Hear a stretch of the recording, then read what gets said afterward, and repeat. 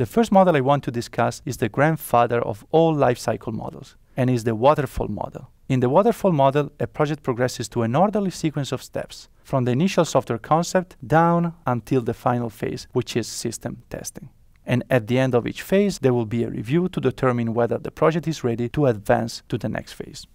The pure waterfall model performs well for software products in which there is a stable product definition. The domain is well known and the technologies involved are well understood in these kind of domains, the waterfall model helps you to find errors in the early low-code stages of a project. If you remember what we discussed, this is the place where we want to find errors, not down here, because finding them here will reduce the cost of our overall software development. The main advantage of the waterfall model is that it allows you to find errors early. However, the main disadvantages of the waterfall model arise from the fact that it is not flexible. Normally, it is difficult to fully specify requirements at the beginning of a project, and this lack of flexibility is far from ideal when dealing with projects in which requirements change, the developers are not domain experts, or the technology used are new and evolving.